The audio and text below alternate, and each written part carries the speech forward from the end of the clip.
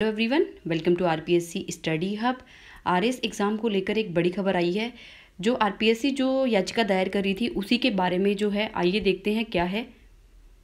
Rajasthan high court की इस वक्त की सबसे बड़ी खबर। आरएस भर्ती 2021 से जुड़े मामले में हाईकोर्ट का स्टे।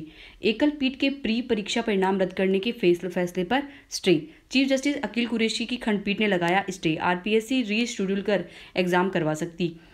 आरपीएससी ने प्री परीक्षा परिणाम रद्द करने के एकल पीठ के फैसले को लेकर खंडपीठ में चुनौती दी है। राज्य सरकार की ओर से महाधिवक्ता एम एस सिंघवी ने रखा पक्ष। आरपीएससी की ओर से अधिवक्ता एम एफ़ बैग और अमित दुभाया ने रखा पक्ष। तो ये जो है न्यूज़ अभी भी आई है। Thanks for watching this video